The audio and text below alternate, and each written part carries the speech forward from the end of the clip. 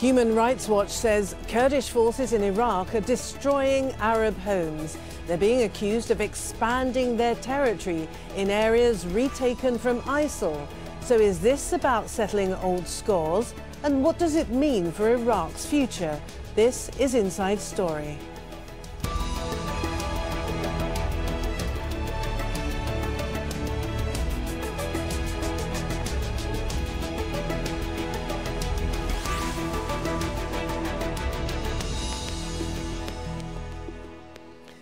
Welcome to the programme. I'm Martine Dennis. Unlawful retaliation. That's what Iraqi Kurdish forces are being accused of. Human Rights Watch says they're destroying large numbers of Arab homes and even whole villages in northern Iraq in what may amount to a war crime. Now, the rights group says there's evidence of further destruction during the latest offensive in Mosul. Kurdish Peshmerga forces are part of an Iraqi alliance helped by US led airstrikes that's battling to retake control of Mosul from ISIL. Now, Human Rights Watch says Kurdish forces have destroyed homes in areas that have been taken from ISIL over the past two years. It says the destruction was in retaliation for what the Kurds believe was Arab communities' support for ISIL. Kurdish homes, though, were apparently left intact. The Kurdish authorities say they abide by human rights laws and that some villages were damaged by the ferocity of the fighting. Human Rights Watch is also accusing Kurdish and Iraqi forces of detaining at least 37 men suspected of being linked to ISIL. While Kurds make up the fourth largest ethnic group in the Middle East. They've faced years of repression in their quest for an independent state. In the late 1970s, the Iraqi government was said to have settled Arabs in areas with Kurdish majorities, particularly around the oil-rich city of Kirkuk, and forcibly relocating the Kurds, so-called Arabization. In 1988, Saddam Hussein unleashed a campaign of vengeance on the Kurds that included the poison gas attack on Halabja. When Iraq was weakened in the aftermath of the 1991 Gulf War, the Kurds led a rebellion which saw them enjoy a temporary period of self-rule with a no-fly zone in the north. But after ISIL captured large parts of northern Iraq in 2014, the Peshmerga were sent into disputed areas claimed by the Kurds and called on the Kurdish parliament to plan a referendum on independence. All right, let's bring in our guests now. They are all in Erbil today. We have Joe Stork, Deputy Director of Human Rights Watch Middle East and North Africa Division. Judith Neurink, who's an Erbil-based journalist and founder of the Independent Media Centre in the Kurdish region of northern Iraq. And we have Dindar Zabari. He's Deputy Minister with the Kurdistan Regional Government. Welcome to you all. Can I start with you, Mr Zabari? Uh, you're accused of quite serious uh, atrocities, uh, serious allegations that could possibly constitute a war crime or at least a breach of international humanitarian law, demolishing Arab homes and even uh, whole Arab villages. What does the Kurdish regional government have to say to that? Thank you for this opportunity. I believe this is very uh, a new allegation, a genocide and uh, carried out by forces from the region. Definitely not. We reject. We reject this, uh, uh, the title of the report. We reject the uh, intention uh, um, draft that has been drafted a while ago, but of course uh, has been highlighted in a very, I have to say, tough language, which is uh, uh, bearing in, in, in, mind the responsibility towards the destruction of the Arab houses. Definitely not. We certainly reject them. There are, there are millions of Arab uh, Sunni Arabs in Iraqi Kurdistan, accommodated by Kurdistan region. Liberation of the areas that have been liberated, uh, not to do with Arab or, to, or, the Kurdish population. It was a, a, process of, of, liberation conducted by Peshmerga forces with the help of coalition forces. And there are factors that have had led to a sort of um, few destructions in few houses or in few villages, and we have explained that in our last communication with Human Rights Organization, with many other colleagues, international partners. Uh, and, and, I have to, and I have to say here, details of more than 300 villages have been circulated to Human Rights Watch organization, and also details and numbers and a, a number of the houses. Reasons have been various from uh, area to area, and it's not that far in, in, in 120, 21 sites that have been identified by Human Rights Organization. I have to say we have visited more than 100 of the sites, uh, and it's very much, very much founded contrary what has been highlighted. It might be cases and individual uh, behaviors, but of course, uh, out of the KRG, uh, conducted by different militants or conducted by different villages, citizens themselves, that KRG Peshmerga forces tried their best to stop and protect the civilians. And I have to say, the more organized, unified, without instructions, Peshmerga forces have been a success story. All right. I have to say, for the last okay. two years towards the liberation. Let's go to Human Rights Watch now. Let's go to Joe Stork. So, a categoric denial, refuting the allegations that these things are happening under the auspices of the Peshmerga in the first instance and the Kurdish regional government in the other. Yeah, look, I've heard this from before from Mr. Dindar, Dr. Dindar. We met earlier this week and had this discussion. Uh, our report, uh, I, I, hope readers will, your, your viewers will consult our website and look directly at the report and see what we have to say. We documented extensive destruction in 83 villages, looking deeply uh, into the case of 21 villages. What we found in every case was extensive destruction, sometimes whole villages, uh, that happened after Peshmerga or Kurdish uh, security forces generally were in full control of the area. In other words, there was no battle going on anymore. Maybe there had been a battle, but it was over. Uh, there were no airstrikes anymore. We can tell the difference. You can, if you look at two buildings, one destroyed by an airstrike, one destroyed by a bulldozer, you can tell the difference, okay? And we're talking about buildings that were destroyed by bulldozers, that were set on fire, uh, that were indeed set off by explosives from, uh, that were left in booby traps from the Islamic State people. Uh, but all of this is destruction that happened after the Peshmerga were in control. And, and in addition, we're looking at cases Sorry? No, okay, let me go to Judith now. Uh, Judith, as a, a, journalist who's operated in the region for some time, what's your perspective of what exactly has been going on? Well, it, we have reports from different sources about destruction. And I have seen villages like that myself when I was near to the Mosul Dam uh, a number of months ago. Now, sometimes it's very clear these are villages that have been destroyed because there were ISIS guys inside. Uh, it, the village was mainly part of ISIS. But for other villages, it sometimes is not so clear. Recently, villages have been destroyed near to Kirkuk, as we hear from a number of sources. Uh, and in that case, uh, it seems also there is a connection to ISIS because the uh, attack uh, in, in Kirkuk a couple of weeks ago um, is supposed to have been organized from there. So it's, it's a bit of a mixed bag, to put it that way.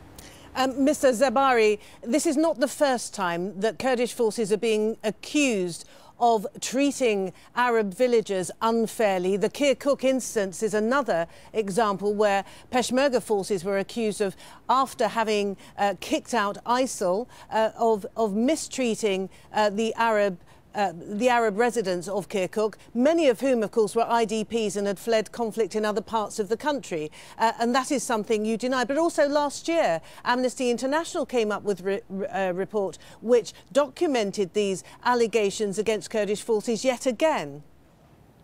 Yeah. Uh, I don't see any difference here between Amnesty International and Human Rights Watch organization.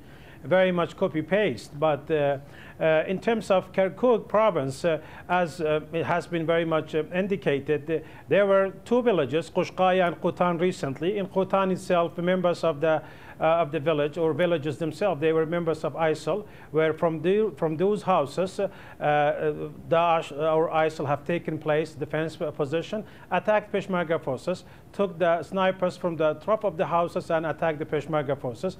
They were in those houses we found the chemical weapons preparations. We find some of the houses, plenty of under 175 tons of TNT in some of those houses. And they were, they were the Amir of Daesh, and they were the head and the leaders of the attacks of Daesh throughout the route of Kirkuk and Dibis for many months. But come back to uh, uh Kirkuk for itself, the, the, the, the, IDPs within the Kirkuk, they were again, uh, first of the arrival of the ISIL, 21st of October, they were the, the, the one that have received the ISIL fighters, have attacked from their position, from those areas, and from that specific location. And of course, Kurdish forces have taken possession, trying to uh, take out the, the, the, the, remaining of the, of the, of the affiliation members. Okay, Mr. But Zabari, can I, can I just policy, can I just interject there, Mr. Zabari, because the problem is is that there's a lot of suspicion surrounding uh, Kurdish actions. On the one hand, you're applauded, you're you're commended for your uh, fierce fighting and your successes against ISIL, but there's a great deal of suspicion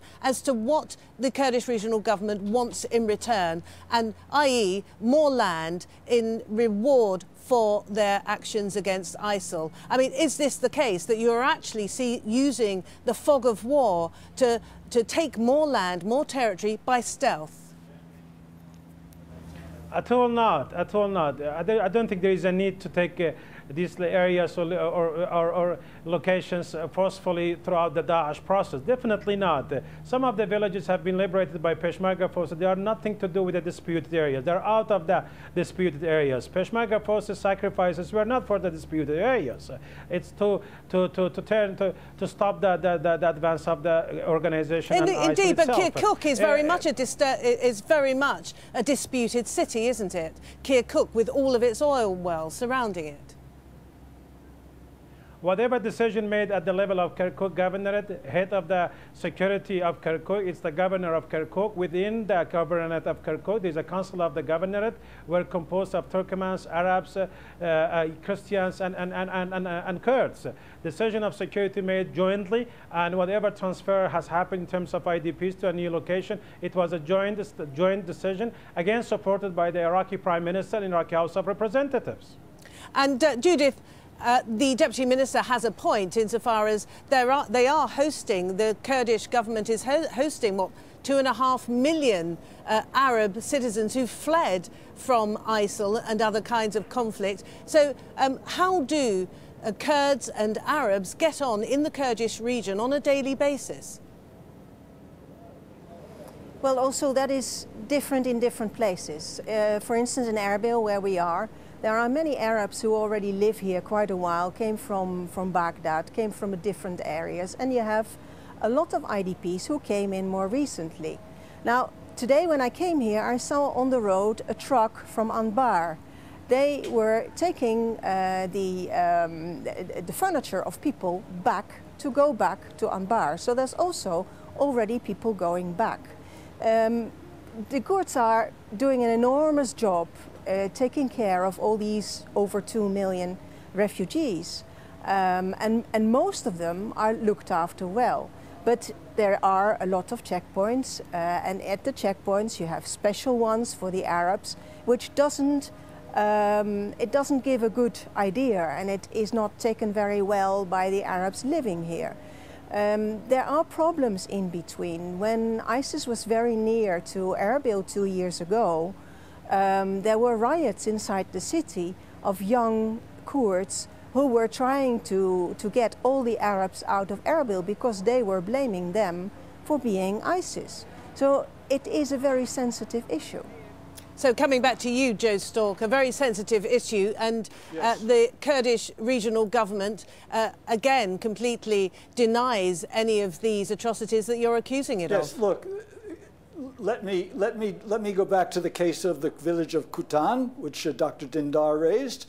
I brought it to his attention when we met last Wednesday. I had been there the day before, so Tuesday, November 8th. This is a village that before October 21st, there had been no uh, Islamic State action whatsoever. Uh, in two days, October 22nd, 23rd, the village was leveled, and I mean leveled by bulldozers uh, when the village was under Peshmerga or Asayish control. The, on October 21st, the Peshmerga rounded up the men of the village, 70 or so men, brought them to their base, held them for several days, questioned them, and let them all go. So not a single person was suspected Oh, of all right, activity with Islamic Could, State. No, could this minute. be Sorry, no? Could, could this be the action? finish. Could, No. this be the action of of particular units of individuals, as the deputy minister has suggested? This Well, is what I'm trying to get from you. Of, of, okay, yes, good point. It was obviously the action of particular units. And this gets to the point Dr. Dindar uh, mentioned that individual commanders may be doing the wrong thing. But we've seen individual commanders doing the wrong thing for several years, repeatedly. And there's been nothing done about it. So the, the, the government of the KRG makes some very fine statements as Mr. Dindar did here today, about uh, the KRG policy. It does not include uh, violations of this sort, but yet these violations repeat themselves, and yet no one, no PESH commander that I'm aware of, has been investigated or disciplined or, uh, or suspended from his rank uh, because of what's happening. So I would challenge Dr. Dindar here this afternoon to tell me, to tell us that there will be an investigation of the leveling of the village of Kutan and that the person or persons responsible will be held accountable. Will you take up that challenge, Dr. Dindar? Over to you, Mr. Zabari. Yes, uh, we have had that discussion with Joyce Stork. Uh, Yes, true.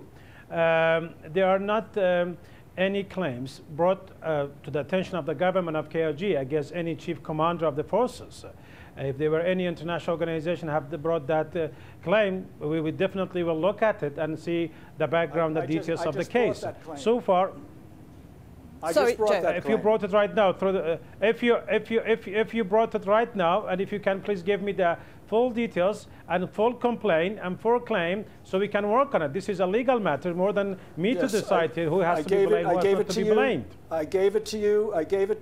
I gave it to you when we met on Wednesday.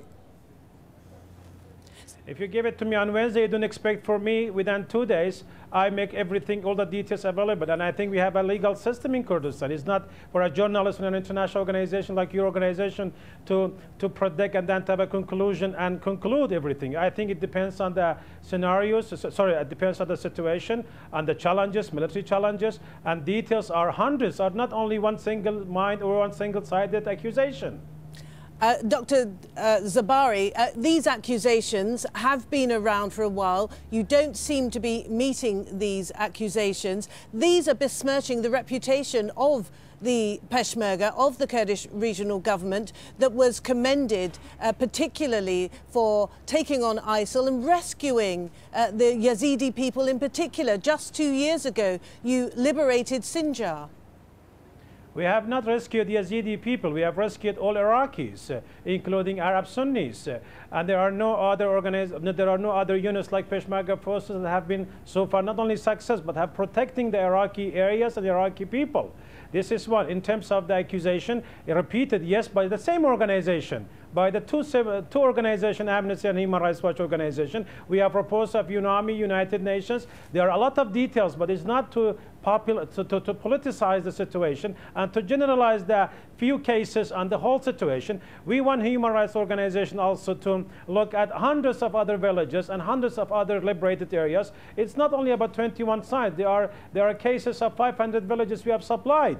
So I think what is happening here are details, and I think technical issues are very much relevant. Military operation and technicality of the, of the, of the operation is very much relevant here, and I don't think it's very much to do with the human rights breaches. KRG has been the only, the only government in this region has asked for International Criminal Tribunal, Iraq to be part of it, has asked for Iraq to be a member of the high treatment, and has also requested the missions of human rights organization of the UN to visit the areas. We have facilitated the work of Joyce Stork in this region. We have facilitated and gave all the access to the international organizations to meet, sorry, and, and to visit these areas. There is nothing to be hidden. Everything has been transparent enough. Reasons have been explained, and I don't think one village or two villages can be can be identified. Within a little bit, I have to say details. Details have to be very much scrutinized, very much looked at, it, and then decision, legal decision, must be made by the court and by judicial authority, not by me and Joyce Stork. Okay, what about the villages then that the Peshmerga have successfully cleared of ISIL? The villages that particularly are of mixed or of Sunni Arab uh, populations. What is happening to those? Are you prepared to give those back to the original inhabitants or are you prepared to keep them as part of a, a, a greater Kurdish area? It's, it's very much, it's very much, I have to say, a, different environment created by some of these organizations. Definitely not. We have more than, I have to say, um, a million IDPs, but I have to say around the provinces of Nainawa, Kirkuk, Diyala, Mahmur, and Guer, you have hundreds of the Arab villages. How can you take back these villages? These people are now in Kurdistan region. They have to go back, and we have supported them to go back. There are dozens of villages people went back. But in a city like Guer, which is part of the sub-district of district of Mahmur, half of the population were the Kurd are the Kurdish population. None of them are able to go back. And the reason because of basic services, fear of artillery of ISIL, fear of the rockets of ISIL, and fear of the, of the devices, explosive devices, as well as the security of their own children and families. So it's nothing to do with Arab few villages or Kurdish few villages. It's a, it's a whole process of re reconstruction, rebuilding, as well as basic services, and beyond that also security and, and the fear of ISIL or return of ISIL. Uh, Judith, then, uh, given what the Deputy Minister has just said, why is there so much lingering suspicion surrounding the territorial ambitions of the KRG? Um, because, is, of course, we all is. know that uh, the Kurdish the Kurdish area um, is uh, is not uh, doesn't feel complete to the Kurds. There is this, this disputed areas that um, uh, they even put on their own dream maps. And um, even uh, the uh, president, Barzani, has said that the uh, land that the Peshmerga is now uh, uh, conquering is going to be for Kurdistan. Um, we know that near Karamlish, near to Mosul, at the moment the Peshmerga is making a trench which some people think might be the new border. And the problem is that the perception of this for a lot of the Arab community, whether here or outside, is that the Kurds want more land. And even if it isn't true, then even so, the Kurdish authorities should realize that this is the perception, that this is what is the message that's going there. And that message is a very uh, dangerous one because ISIS was built on uh, the fact that the Sunni population felt they were discriminated, they were done out. And if this is being done by another group, then again, this feeling of um, yeah, of, of, of discrimination uh, is, is, might cause a lot of problems. And uh, Mr. Zabari, what exactly is the status then of the well-known and long-held ambition of the Kurds of northern Iraq for an independent homeland. Where is that uh, aspiration now? Are you still on course? Are you still pushing to secede from uh, Greater Iraq? Uh, I think, let me explain here. First of all, those areas that have been liberated recently and within the last two years, these are areas that KRG forces were present prior to ISIL arrival, prior to Daesh arrival. This is one. Uh, second, uh, in terms of the ambitions of the Kurdish uh, uh, leadership or Kurdish people, certainly self-determination has been a, a, a, right, and uh, Kurdish aspirations always have been have been there. And I think it has to do, it will depend on the time and the circumstances, and of course the decision has to be made by the people of Kurdistan. And then on the third point, President Barzani's statement on the areas that have been liberated, uh, I, I know detail of that statement. The statement was very much to do with the, uh, the sacrifices Peshmerga forces were doing, and even the latest agreement with Baghdad and coalition very much to do with advance of Peshmerga forces in those line areas that are very much uh, present of Peshmerga were in the past present, or they were there in the past. But to do with the withdraw or not withdraw, I believe it has to go through the referendum, and I think legal, legal uh, document Iraqi constitution, very clear example to that. That constitution, that article still is valid. UN is very much supportive of that article. A referendum to be held. We have been asking back that for 20, for more than 11 years to hold a census, referendum, and then and then an all normalization of situation. But nothing to do with the war against ISIL. ISIL war is completely different, different idea. In Kirkuk, Arab tribal leaders, uh, in line with the Peshmerga force, have taken arm against ISIL on the 21st of October and fighted ISIL. It's completely two different stories here. Okay, thank you all very much indeed. Deputy Minister Zebari, Judith Neurink and Joe Stork, thank you very much for taking part in this conversation. And as ever, thank you for watching. You can see the programme anytime again by going to the Al Jazeera website. If you want more discussion, you can go to our Facebook page, facebook.com forward slash AJ Inside Story. And there's a Twitter sphere, our handle at AJ Inside Story. But from me, Martine Dennis, and the whole team here in Doha, it's bye for now.